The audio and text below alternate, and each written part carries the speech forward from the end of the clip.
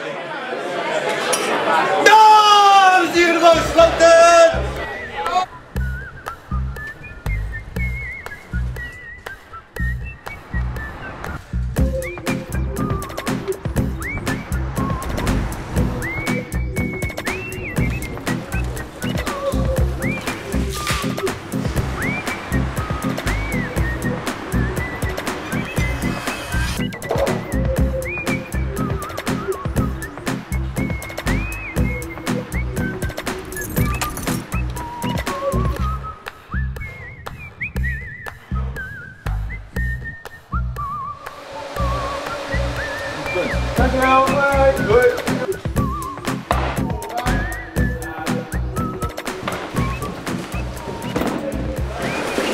Tegenwoordig eh, organiseer ik een beetje de dingen op de nieuwe locatie.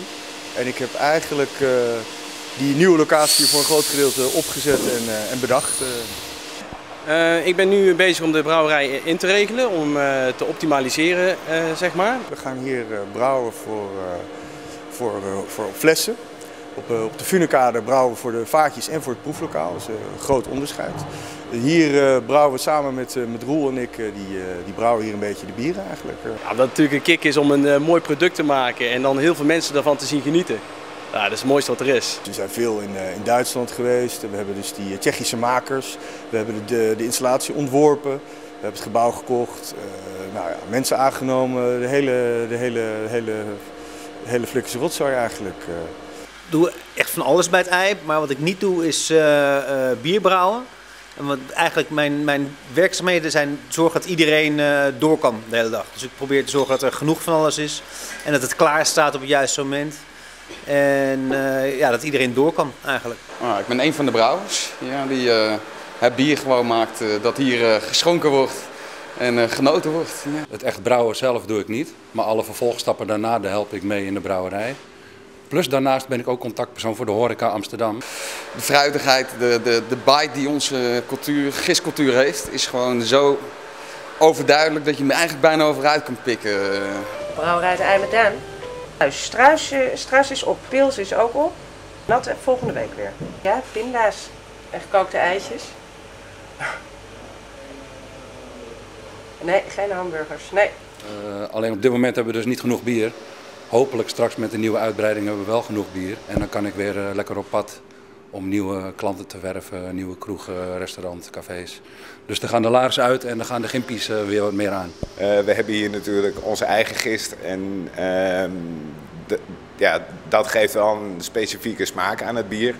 En bovendien hebben we hier natuurlijk allerlei verschillende recepten, waardoor er allerlei verschillende bieren getapt worden.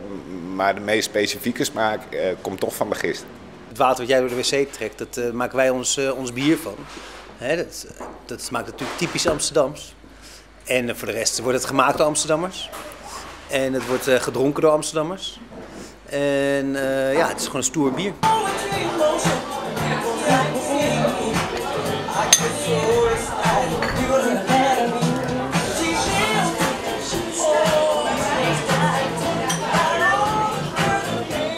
Amsterdamse mensen hier die drinken best wel veel uh, eibier eigenlijk. We hebben dat um, in de zomer hebben we bijvoorbeeld eiwit. We hebben eigenlijk een wisselende tap. En dan hebben we eibok in de herfst. Uh, eindejaars hadden we, die was heel, heel sterk biertje. Hadden we maar één vat van, maar die ging er in twee dagen wel doorheen. En uh, nu hebben we zatten van de tap. Dus het trippelbiertje. Ook heel lekker, heel verraderlijk. Ja, je wordt er heel snel dronken van. Het is bier van, van hoge gisting, hè? dus het is heel, heel smaakvol. Het is, het is ongefilterd, ongepasteuriseerd. Dus, uh, het heeft ook een hele warme vergisting gehad. Dus het heeft heel, heel veel smaken, als je het zou kunnen omschrijven. Ja, dat het gewoon uniek is. Wij gebruiken een unieke giststam die nergens anders ter wereld wordt gebruikt. Ja, ook hoger alcohol. Er zit veel mout in natuurlijk, in die, in die ketel. Dus uh, ja, het is echt een, een hap smaak die, die, die je proeft. Ik vind uh, IPA erg lekker. Maar mijn favoriet blijft toch stiekem altijd de Columbus. Man, die heeft gewoon een mooie zoete begin, biddere nasmaak. Alleen helaas is hij zo zwaar. Uh, het, het verandert, verandert, continu. Het is Satte geweest, het is, uh, het is Columbus geweest, uh, nu is het Paasei. Nou, je hebt ook wel gewoon de dames die echt een wat zwaarder biertje nemen. Hè, kijk je naar het seizoen, bijvoorbeeld de eindejaarsbier, straks weer de paasei. Ja, dat verkoop je toch wel gewoon een lopende band aan. Moet je als brouwer veel drinken? Nee, je hoeft uh, als brouwer niet veel te drinken. Wat je wel moet doen is veel proeven.